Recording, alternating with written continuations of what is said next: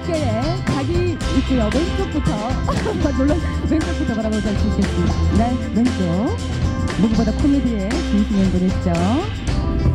자, 중앙도 바라봐 주시고 있고요. 아, 손을 흔들어 주시는 매너와 여유가 빛나는 배우 유승용 씨. 오른쪽까지도 우리 기자님들과 함께 눈맞춤을 해주고 계십니다.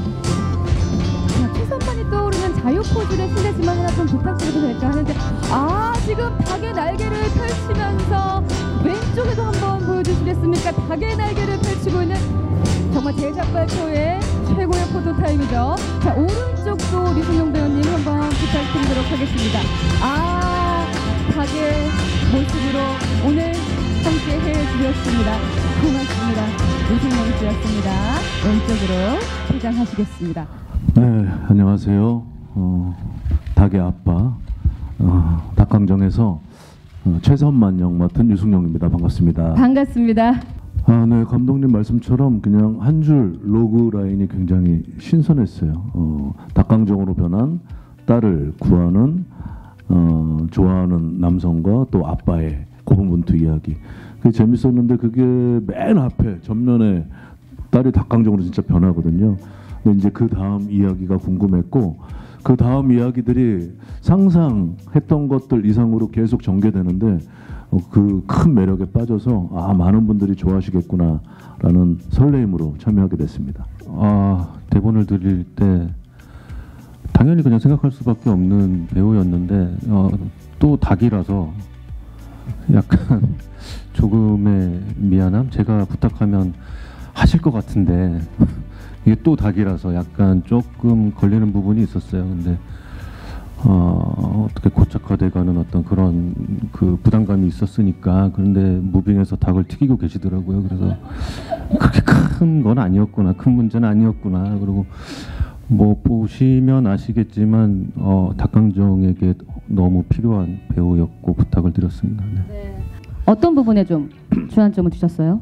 일단 닭강정으로 분한 우리 김정 씨가 영혼을 갈아 넣었기 때문에 진짜 닭강정 자체가 어 진짜 우리 딸로 보였고 진짜 테이큰의 리암 리슨처럼 네. 어, 몰입해서 연기를 했습니다. 아 그러면은 지금 이제 리암 니슨이 보고 있어야 하는 상황인 거죠?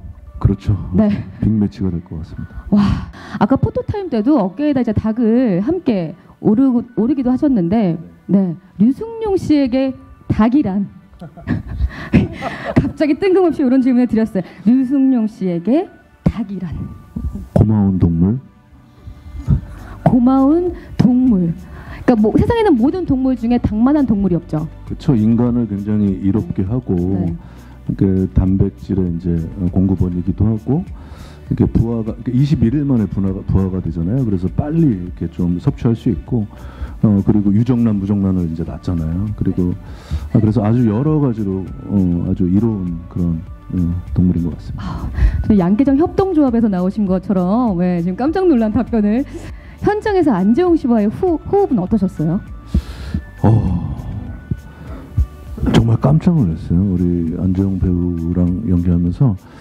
그러니까 이제 극한 직업 같은 경우는 여러 명이서 호흡을 맞춰야 됐기 때문에 여러 번 연습을 많이 했고 진짜 안재홍 배우랑 둘이 할 때는 거의 어, 현장에서 그냥 리- 리허설 거의 없이 이렇게 했는데 왜냐하면 이제 웃음이 이제 휘발이 되잖아요. 그래서 그때 그때 막 그런 감각들로 했는데 정말 기가 막히게 뭐 뭐라 그러듯이 자웅동체처럼 이렇게 하면 이렇게 가고 이렇게 가면 이렇게 가고 그 척척척 그 뭐 아구가 맞는다고 해야 되나 이런 게 현장에서도 너무 짜릿했어요. 네, 아주 기가 막힌 경험이었습니다.